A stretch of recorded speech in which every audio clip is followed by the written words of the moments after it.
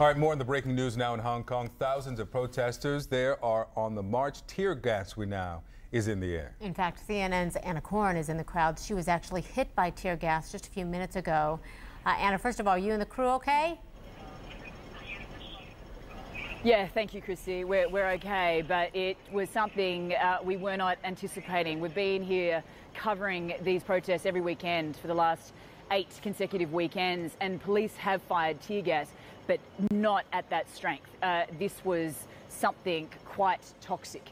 Uh, it hit the ground. Admittedly, we were in a residential area, and, and, then it was just burning up. And if you don't have your mask on super tight, then it gets in. Uh, my producer Bex Wright and myself, we were just choking up. It was it was extremely difficult to breathe, and we just had to get out of there, as did everybody else. Uh, we were down the hill, and you can still see riot police down there, but they have dispersed the crowd.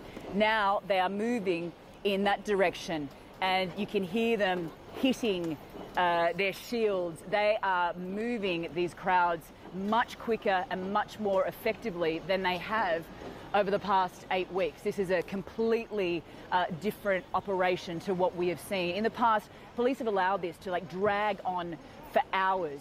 Uh, but tonight it, it, it is happening at a much faster, faster pace. Where we are is Sheung Wan, very close to the Beijing liaison office. That is basically the, the, the, the, Chinese government building here in Hong Kong. And last Sunday, protesters graffitied it.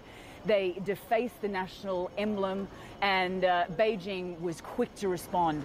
Uh, they said that that was challenging that the one country, two systems policy. That is why they are guarding that area, and they don't want protesters getting anywhere near it. Those protesters are now being moved back uh, here in Sheung Wan. This is a very residential uh, area.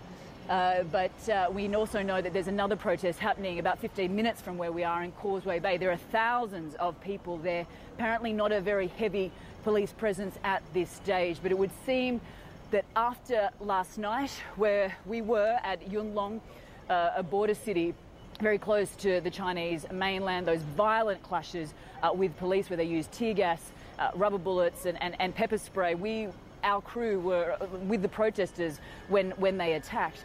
Uh, it, it, seems the police are now upping the ante, uh, whether they are going to tolerate uh, these unlawful assemblies uh, for, for, much longer. It, you, you, get the sense, uh, Christine and Victor, that, that uh, police are, are starting to clamp down. All right, Anna Coren, be safe out there. Thank you so much for your fantastic reporting over this last several weeks.